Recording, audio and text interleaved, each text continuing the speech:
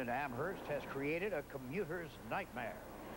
Topping Eyewitness News at 6, no one was seriously hurt this afternoon when a tanker truck loaded with liquid solvent hit a van and flipped over on the thruway just west of the Williamsville toll barrier. That's the good news.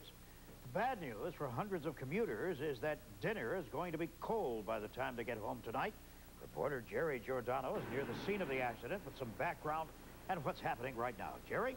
Irv, what you're looking at is the residual effect of this accident that happened more than seven hours ago. You're looking at the 90